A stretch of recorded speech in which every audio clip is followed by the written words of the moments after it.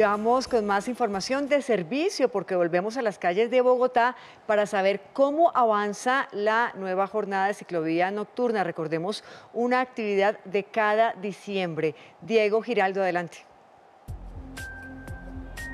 Patricia, buenas noches nuevamente. Pues la lluvia empieza a caer a esta hora acá en la ciclovía de la carrera séptima. Recordemos que este tramo va desde la calle 24 hasta la calle 116.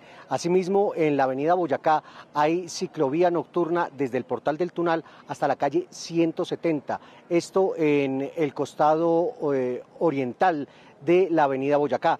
También, eh, según el reporte de las autoridades, la carrera 15 entre calle 72 y calle 127 también está cerrada por la ciclovía nocturna.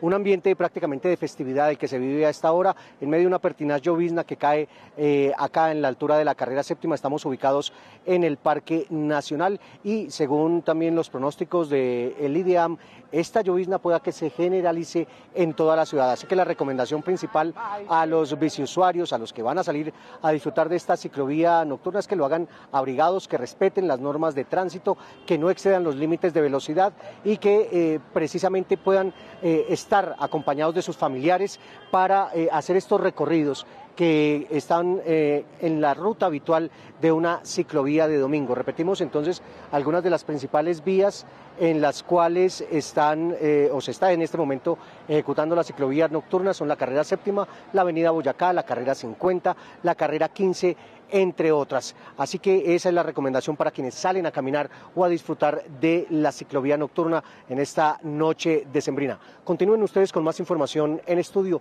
Diego Giraldo en RTBC Noticias, conectados 24-7.